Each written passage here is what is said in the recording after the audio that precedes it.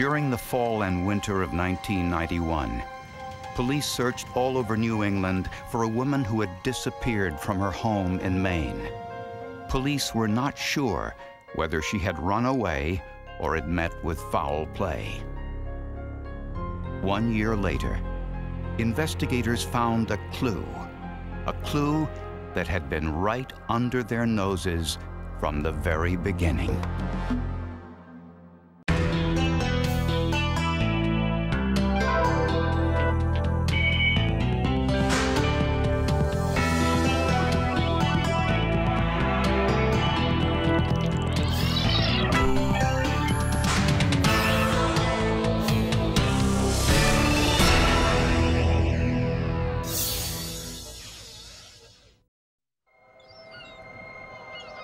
Portland, Maine, the largest city in the state, and at one time, its capital.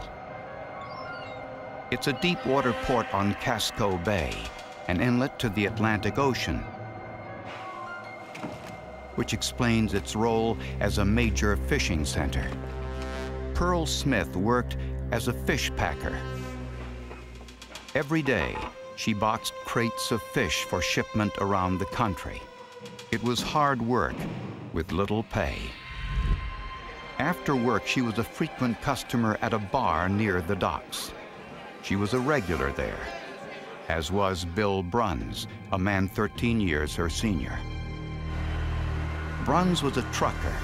His job was hauling fish from Maine to Montreal. The two had a lot in common. They liked to drink, and they were unlucky in love. Pearl had been divorced five times, and Bill's third marriage had just ended. They fell in love and were married in the summer of 1986. Their relationship appeared to be close. They met for lunch each day at this restaurant on the docks. But on August 13, 1991, Pearl's daughter called police to report her mother missing. She said Pearl failed to show up for a family gathering she had been looking forward to. My mother was very loving, very caring, everybody's best friend. Um, gosh, like I said, she'd give her shirt off her back for anybody, you know, and she was always there when you needed her. She never let you down. South Portland detective Linda Barker was assigned to the investigation. At the Bruns home, she noticed that none of Pearl's clothing, jewelry, and personal items were missing. And her prized possession, a black Cadillac with vanity plates reading Pearl B, was still in the garage. Pearl really loved her Cadillac, and she very rarely went anywhere with it without it. And that was one of the things that Elaine was very concerned about, that her mother left, but left her Cadillac behind. The car being left behind in the garage said to me that my mother never left the home. Um, if my mother had left the home, she would have been in the car. So my daughter lives out of town and I have a few friends Bill Bruns told police that he and Pearl had an argument and afterwards he left for Chinese food. When he returned home, Pearl was gone. But he said he wasn't worried since she would occasionally leave with no explanation. It was not unusual for Pearl to leave home um, for two, three, four, even seven days at a time. Uh, she would go and stay with friends in Old Orchard or, or with family members. So, yeah, it, it had happened in the past and it was not unusual. But with her car still in the garage, how did she leave? Police called the airline's bus and taxi services, and there was no evidence that Pearl Bruns had left town. Bill Bruns told police that his wife probably ran off with another man, and the police chief agreed. Chief Swartz did not believe that my mother was a missing person. He believed that she was a drunk who may have possibly ran off with another man. He knew my stepfather, Bill Bruns, personally, and he believed that Bill was not the type of person that would do anything to hurt anybody. And he had made such a statement to Christine Young, the reporter, at one time. He said, ah, she was an alcoholic. She'd been married six or seven times. She probably ran off with one of her ex-husbands. I said, well, what about her current husband? Could he be involved? He goes, nah, I've known him for 20 years. Couldn't be him. Days passed, and then weeks, and Pearl Bruns' family feared they would never see her again. In the port city of Portland, Maine, police continued their search for 48-year-old Pearl Bruns. Oh, yeah. How about the phone bill? Prosecutors were suspicious of Pearl's husband since he hadn't reported her missing. I'm sure there's plenty left at all. Mr. Bruns' behavior in this case was peculiar. If you came home one day and found your wife was gone without any explanation, what would, we, what would you do? What would any of us do? Bruns did nothing. It was Pearl's daughter from a previous marriage who called police. I knew that my mother would have been in contact with me, so there was no doubt in my mind that my mother was no longer alive. Um, my mother was the type of person that would have gone to great lengths just to be able to contact me or my daughter. Pearl's suitcase was found partially packed on her bed with high velocity impact blood spatter on it, consistent with a striking blow to the head. The blood that was on the suitcase, there was uh, a high velocity uh, blood spatter, low velocity, but also smears of blood on the suitcase, indicating that the blood came either from uh, cast off of some kind or possibly during a struggle, uh, somebody struck with uh, a weapon of some kind. In the days before her disappearance, Pearl Bruns spent an increasing amount of time in her favorite bar. She told friends that she and Bill were fighting mostly about money and that she was depressed. please help you. Once news of Pearl's disappearance hit the local media, tips poured into the police. One of Pearl's friends said he thought he saw her walking along the docks late at night, but none of the tips panned out. The case stalled until six weeks later when a hiker on the Appalachian Trail 200 miles away in New Hampshire found Pearl Bruns's purse. The pocketbook was found right near where the body of another murdered woman had been found a year or two before that, in the exact same area. And that woman's murder, to this day, has never been solved. All of my mother's identification and everything was in the purse. Um, they described jewelry to me and stuff that was in the purse that was definitely my mother's. A search of the area uncovered nothing more, but police now listed the case as a possible homicide. I was thinking it might be possible that my mother's body was somewhere out there also. It was laid there in open view with her personal belongings, driver's license, jewelry, and money inside the pocketbook uh, with blood spatter on the outside of the pocketbook. Somebody wanted us to find that pocketbook.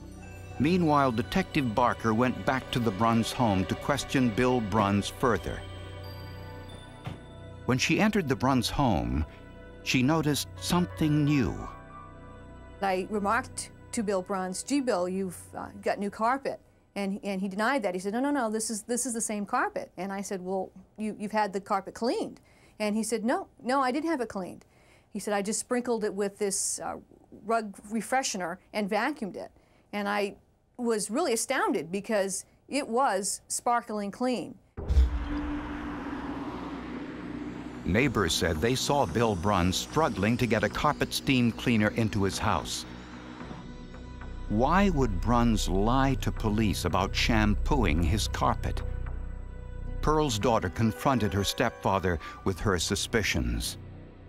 I sat down with Bill one day at the kitchen table and I spoke with him and I told him, you know, Bill, you're the last one that saw my mother. You're the only one that would know what happened to her.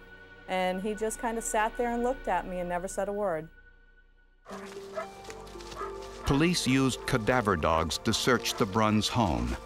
The dogs are trained with a chemical formula called pseudocorpse, which mimics the smell of decaying flesh. Trained dogs will lie down when they detect the smell of a body. When Dr. Edward David led his dog Wraith through the home, the dog headed immediately to the basement. I could tell by the dog's attitude, by that I mean the position of the tail, the ears, that the dog was scenting. And the dog then circled around the crawl space several times, and then near the entrance to the crawl space, the dog lay down. Detectives began to excavate the area identified by the dog, confident that the mystery of Pearl Bruns' disappearance had finally been solved. But to their astonishment, they found nothing.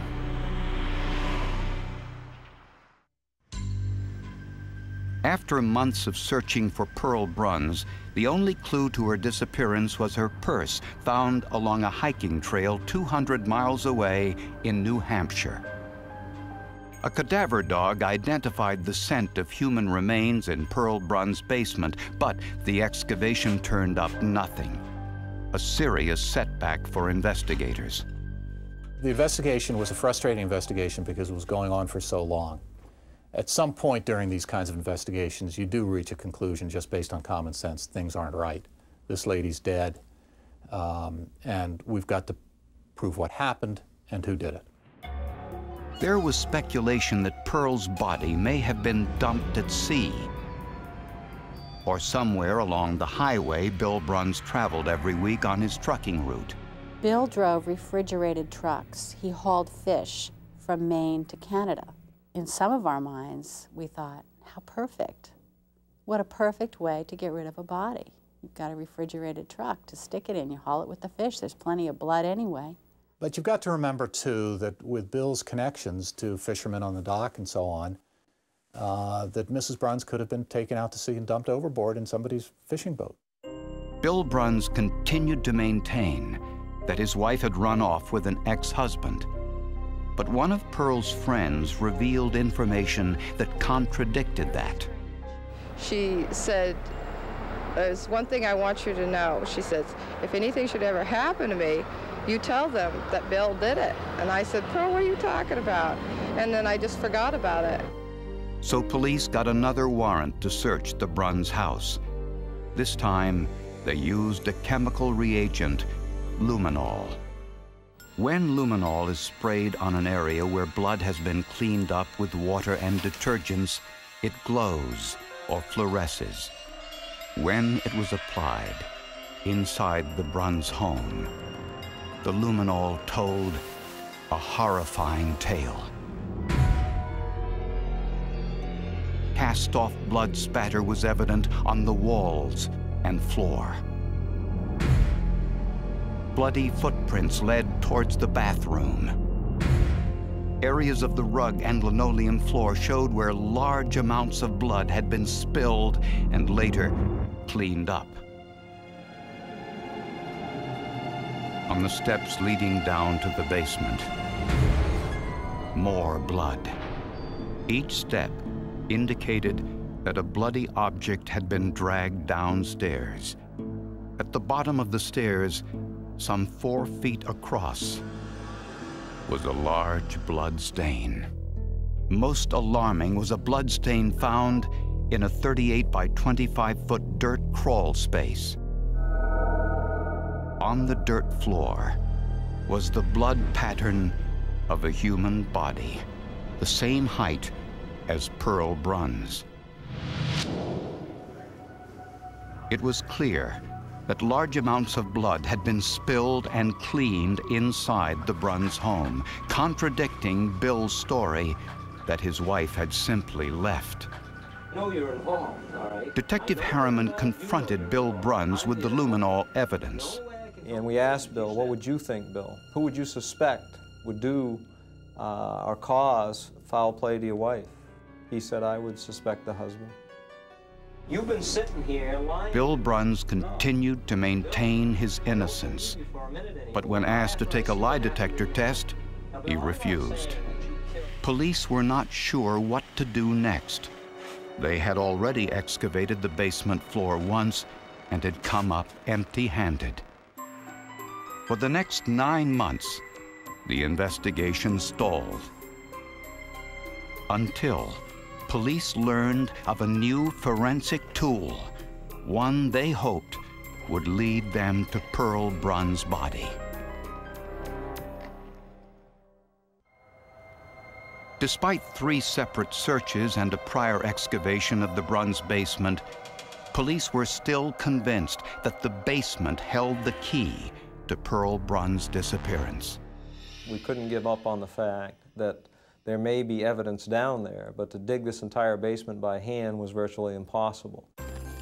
Detective Harriman then learned about a new forensic tool called ground penetrating radar.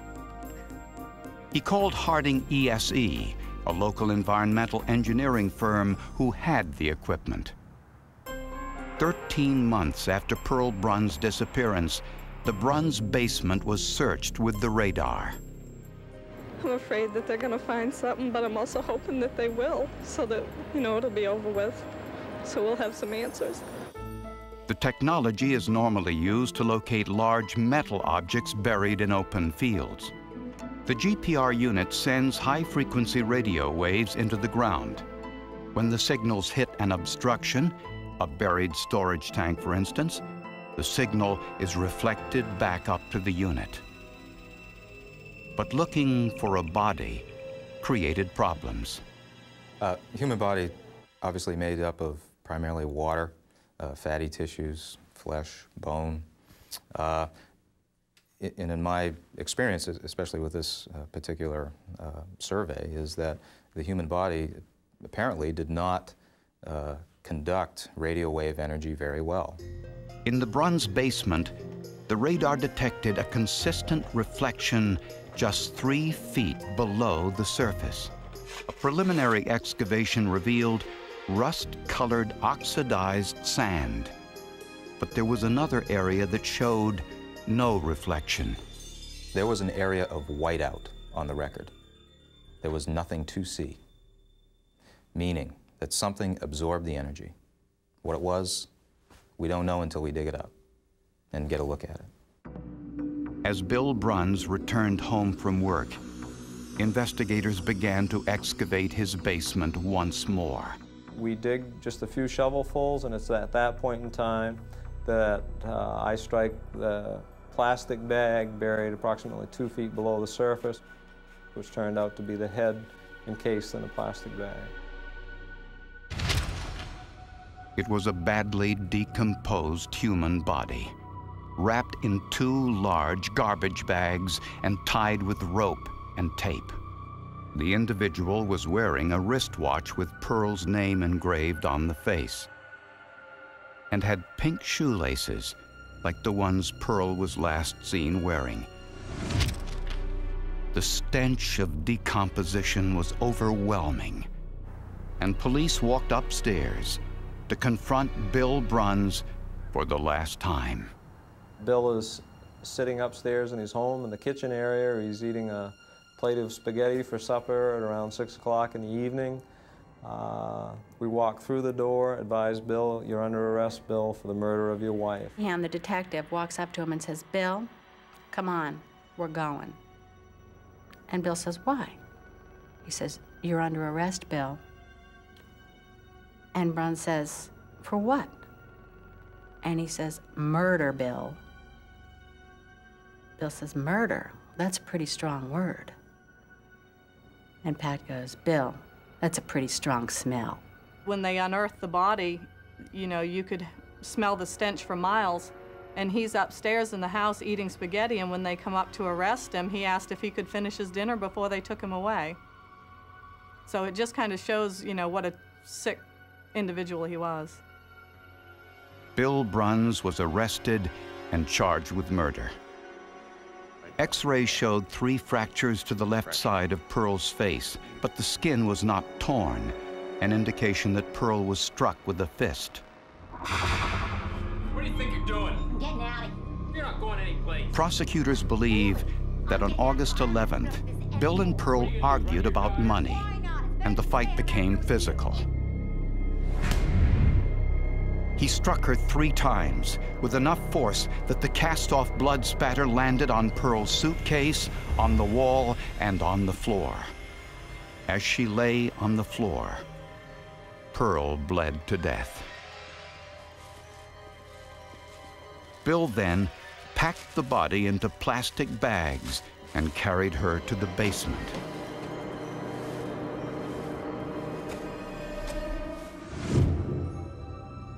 The luminol revealed the path clearly and shows where her body lay as he dug the grave.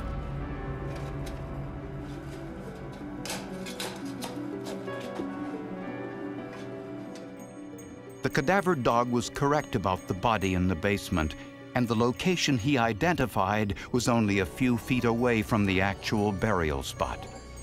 Police believe that in an attempt to throw off the investigation, Bill Bruns took Pearl's purse and left it 200 miles away on a hiking trail in New Hampshire.